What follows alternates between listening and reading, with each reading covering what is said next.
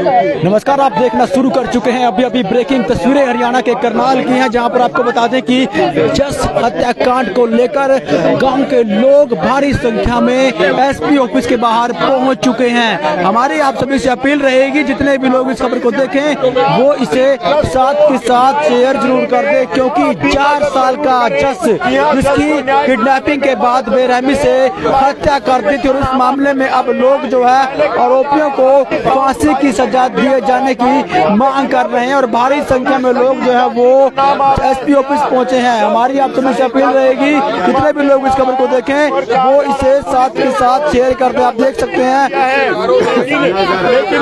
गाँव के लोग भारी संख्या में यहाँ पर पहुँचे हुए हैं और हर कोई जो है फांसी की सजा की मांग जो है, जस के हथियारों को दिए जाने की मांग हत्यारों को फांसी दो। हत्यारों को फांसी दो। Justice for Chaudhary. Justice for Chaudhary. Justice for Chaudhary. हत्यारों को फांसी दो। आरोपियों को। फांसी दो। हत्यारों को। फांसी दो। आरोपियों को। फांसी दो। हत्यारों को। फांसी दो। Justice for. Chaudhary. Justice for. Chaudhary. हत्यारों को। फांसी दो। हत्यारों को। फांसी दो। आरोपियों को। फांसी दो। आरोपियों को। फांसी दो। Justice for. Chaudhary. Justice for. Chaudhary. Justice for.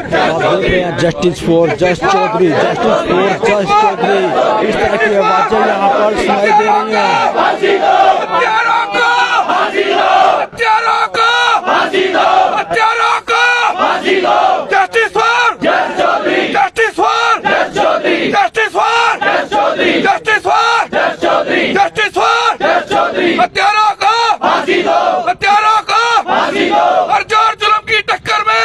संघर्ष हमारा नारा है। हर ज़ोर जुल्म की टक्कर में। संघर्ष हमारा नारा है। हर ज़ोर जुल्म की टक्कर में। संघर्ष हमारा नारा है। हर ज़ोर जुल्म की टक्कर में। संघर्ष हमारा नारा है। साडा हक। साडा हक। गुस्सा है, लोगों में गुस्सा है। चार साल के मासूम बच्चे जसी हत्या को लेकर आप देख सकते हैं, भारी संख्या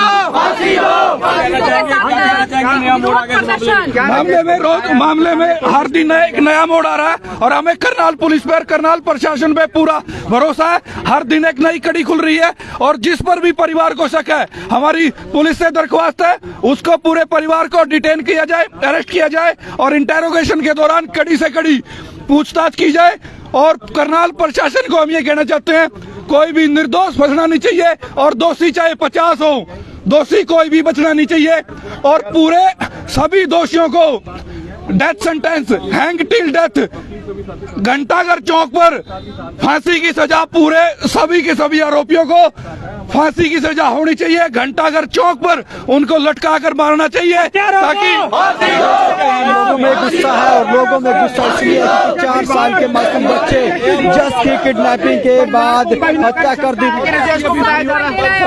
गुस्सा तो मैडम जी अब तक हमारे फैसला नहीं हुआ जब आरोपी सिद्ध हो चुके हैं। आरोपी कबूल भी कर चुके हैं कि हमने ये काम किया है। उनका?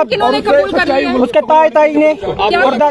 उन्होंने जब शुरू में यही खुलासा हो चुका है कि इनने इन्होंने खून किया इन्होंने बच्चे को उठाया उन्होंने तड़फा तड़फा के बच्चे को मारा फिर अब तक है। ये एक से खुलासे हो रहे हैं। जो भी गिरफ्तारी गिरफ्तारी तो उसी दिन से हो चुकी है। हम तो यही चाहते हैं जो चाची का नाम आ रहा है जो भी आरोपी है इसमें निष्पक्ष जाँच हो। के कठोर से कठोर सजा फांसी से भी बड़ी सजा है ना। ये ये इसके बारे में भी कुछ नहीं कह सकते ये तो पुलिस जाँच के बाद ये अब ये भी कोई कन्फर्म नहीं है। फरार बताया जा रहा है। ये भी कन्फर्म नहीं है। वो तो पुलिस बताएगी कि जाँच में कौन सामने आ रहा है और कौन फरार है। बचाने की कोशिश की हाँ। राजेश को बचाने की कोशिश की जा रही है। राजेश को बचाने की कोशिश की जा रही उसके है घर से क्या क्या बरामद हुआ? उसके घर से काफ़ी जो पहले ये खुलासा होता पुलिस की तरफ़ से कि उसके घर से चुन्नी वगैरह और पुलिस और जिस बैग में वो एक कट्टे में डाला गया वो भी बरामद हुए हैं। लेकिन अब उनका खुलासा जल्द उनको पाँच का सिक्का भी जो साइड से बरामद हुआ है बच्चे के साथ में। चप्पल भी बरामद हुई है लेकिन अब उनको दबाने की कोशिश की जा रही है। उस बच्चे के दांत जो तीन दांत टूटे हुए हैं वो भी बरामद किए गए हैं। लेकिन अब उसको दबाया जा रहा है। लेकिन मामले को कहीं ना कहीं पे दबाया जा रहा है। इसमें नया मोड़ लेना लेके आने की कोशिश की जा रही है? ये तो अब ये तो अब पुलिस खुलासा करेगी भाई क्यों दबाया जा- दबाया जा रहा है और क्यों क्या हो रहा है? नया मोड़ दिया जा रहा है। हत्याकांड को नया मोड़ दिया जा। ये तो जाँच के बाद ही पता लगेगा। के बाद पता चला। पुलिस जाँच के बाद ही पता चलेगा। ये अभी कंफर्म नहीं है मामला कौन दबा रहा है? दबाया भी नहीं जा रहा है लेकिन इसमें मोड़ दिया जा रहा है। मोड़ दिया जा रहा है। राजेश को बचाया जा रहा है लेकिन चाची के ऊपर जो आरोप है वो सिद्ध करने चाह रहे हैं। मोड़ आ रहा है इस केस में। ये तो पुलिस इन्वेस्टिगेशन में दस से हाँ बारह लोग तो शामिल हैं। अभी कोई कंफर्म दस से बारह लोग शामिल हैं। कुछ डायरेक्ट हत्या करने के दोषी हैं कुछ सबको खुर्दबुर्द करने के दोषी हैं और कुछ कॉन्स्पिरेंसी क्रिएट करने में धारा 120 भी में इसमें शामिल है। पूरी साजिश है। ये पूरा है ये पूरा प्लान था। पूरा प्लान प्लान के साथ ये काम हुआ इसमें कई लोग शामिल है। कोई ये अकेले का काम नहीं है इसमें काफ़ी लोग शामिल हैं। पूरा शामिल है। हाँ। पूरा गाँव ने बहिष्कार किया उसका पूरी बरादरी ने भी बहिष्कार किया समाज ने बहिष्कार किया।